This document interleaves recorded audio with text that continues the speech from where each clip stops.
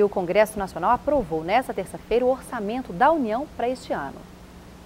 Em uma sessão rápida, o orçamento de 2013 foi aprovado com 53 votos favoráveis dos senadores. Alguns parlamentares de oposição tentaram obstruir a votação, alegando que o orçamento não poderia ser analisado sem antes a votação dos vetos presidenciais que continuam pendentes aqui no Congresso Nacional.